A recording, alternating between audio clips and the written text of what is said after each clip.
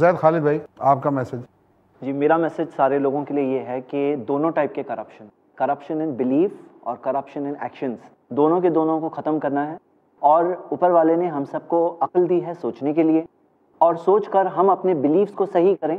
हमारा संबंध, हमारा रिलेशनशिप हमारे क्रिएटर के साथ सही हो।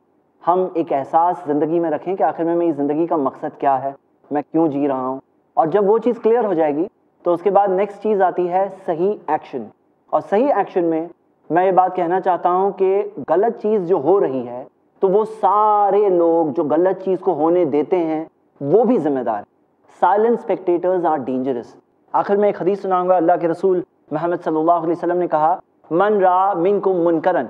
तुम में से जो गलत चीज़ होते देखे, फल युगैर भी यदि अगर हाथ से रोकने की ताकत है तो हाथ से रोके। वलम यस्तती हाथ से रोकने की ताकत नहीं है फबी लिसानी तो अपनी ज़ुबान से रोके।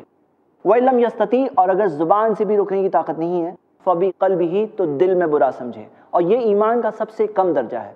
ईमान का रिक्वायरमेंट है कि गलत चीज़ को होते देख कर उसे रोका जाए। जिस किसी बेस्ट तरीके से हम उस सिचुएशन में रोक सकते हैं तो मैं उभारूँगा। हर वो शख्स जिसके अंदर दिल में एक फीलिंग है, एक एहसास, एक कॉन्शियस है कि इस चीज़ को और ये प्रोग्राम के अंदर आई होप कि वो एक भावना एक फीलिंग लोगों के दिलों में आई होगी और एक एहसास हुआ होगा कि it is possible it is possible कर सकते हैं।